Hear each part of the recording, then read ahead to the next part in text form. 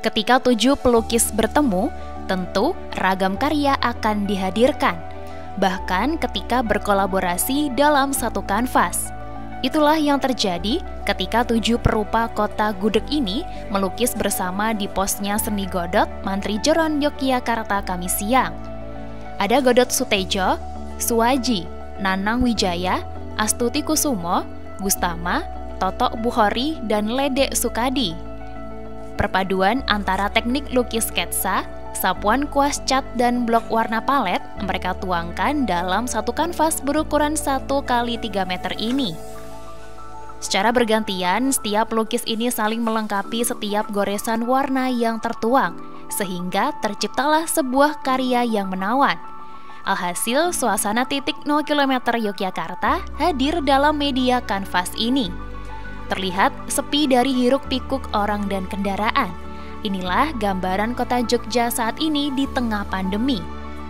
Begitu pula kegiatan melukis bersama ini sengaja mereka lakukan – sebagai wujud kepedulian para perupa Yogyakarta terhadap nasib pekerja seni yang saat ini terdampak COVID-19.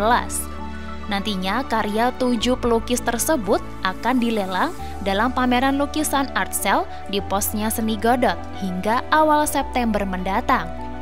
Setengah dari hasil penjualan rencananya akan disumbangkan kepada pekerja seni yang terdampak pandemi. kita mencoba uh, menyatukan visi dan misi yang sama. Uh, hasil dari karya ini akan seluruhnya kita sumbangkan 100% untuk uh, seniman yang terdampak COVID.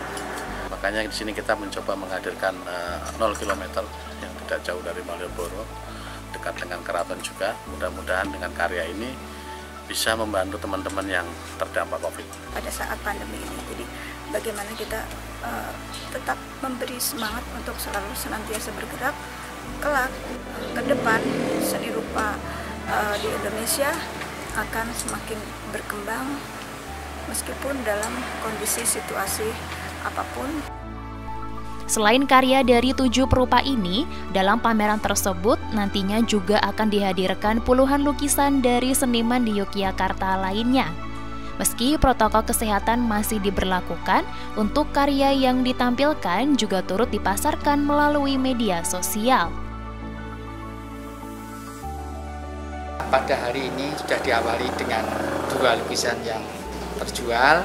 Yang satu punya Pak Indarin, yang satunya punya Mbak Astuti Kusumo itu tentu saja sesuatu yang sangat menarik dengan diawali dua itu mudah-mudahan nanti uh, mendatang bisa banyak yang terjual. Imbas dari pandemi COVID-19 memang hampir merata di berbagai kalangan. Tak sedikit dari para pekerja seni ini yang batal pameran. Namun diam di rumah bukan berarti menghentikan mereka mencipta karya.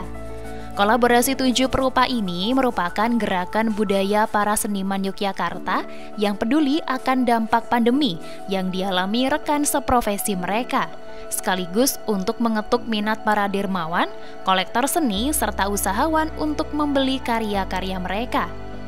Lebih lanjut, kegiatan melukis bersama ini juga sebagai motivasi kepada para pekerja seni tanah air lainnya untuk terus berkarya membangun bangsa.